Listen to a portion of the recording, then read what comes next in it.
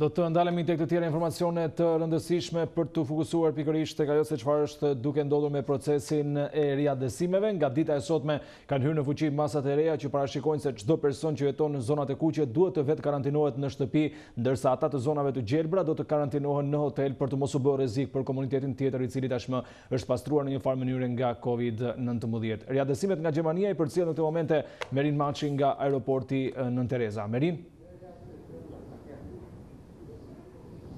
Po Besi ashtu siç edhe ju e përmendët, bëhet fjalë për rreth 128 shtetas shqiptarë të cilët kanë mbërritur në atdhe në kuadër të operacionit për riatdhesimit pasi ishin bllokuar përtej kufijve shqiptarë si pasojë e situatës së krijuar nga Covid-19.